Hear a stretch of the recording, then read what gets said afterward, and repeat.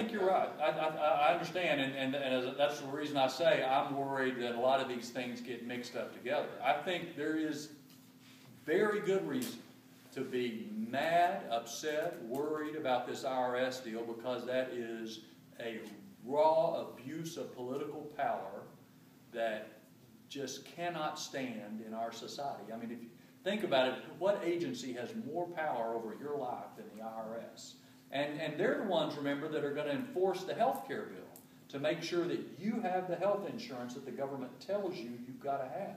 So their power is only going to grow. And, and to have them target people on political philosophy is something that we simply cannot stand. Um, I spent four and a half hours on a classified hearing on Benghazi last week. So we are, in the House at least, trying to make sure we get all of the answers that we can possibly get to what happened and why.